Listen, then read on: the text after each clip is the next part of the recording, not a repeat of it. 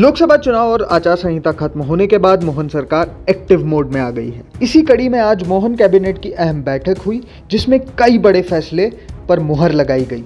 वहीं कैबिनेट के फैसले की मंत्री कैलाश विजयवर्गीय ने जानकारी देते हुए कहा कि अभी तक माननीय को मिलने वाले वेतन पर इनकम टैक्स राज्य सरकार जमा करती थी, लेकिन अब इस नियम को समाप्त किया जाएगा। मंत्री कैलाश विजयवर्गीय ने कहा कि अब विधायक मंत्रियों को खुद इनकम टैक्स भरना पड़ेगा। पार्षदों का ही सिर्फ़ गैजेट नोटिफिकेशन होगा, अध्यक्ष का गैजेट नोटिफिकेशन नहीं होगा।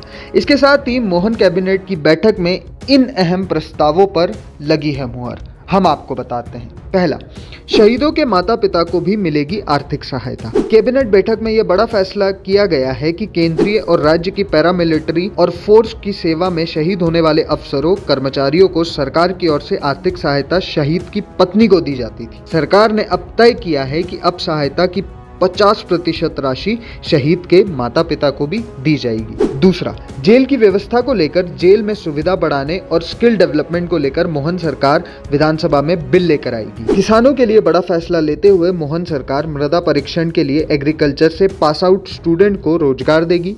किसानों को समझाकर मृदा परीक्षण करने के लिए प्रेरित किया जाएगा। ऐसे किसानों को मिट्टी की सही रिपोर्ट मिलेगी। अब राज्य सरकार माननीयों का इनकम टैक्स जमा नहीं करेगी। मंत्रियों को अब खुद इनकम टैक्स जमा करना होगा। सीएसआर के माध्यम 10 एकड़ का प्लांटेशन किया जाता था। अब सरकार ने 10 एकड़ की सीमा को समाप्त कर दिया है। छोटे दानदाता भी अब कम ज़मीन पर प्लांटेशन कर सकेंगे। प्रदेश के बाहर के सैनिक स्कूलों में पढ़ने वाले मध्य प्रदेश के स्टूडेंट्स को स्कॉलरशिप मिलेगी। भारतीय खेल प्राधिकरण को 100 एकड़ ज़मीन पहले से थी। एक एकड़ और ज़मीन लीज पर दी गई है। रेल परियोजना की नोडल एजेंसी पीडब्ल्यूडी को बनाया गया।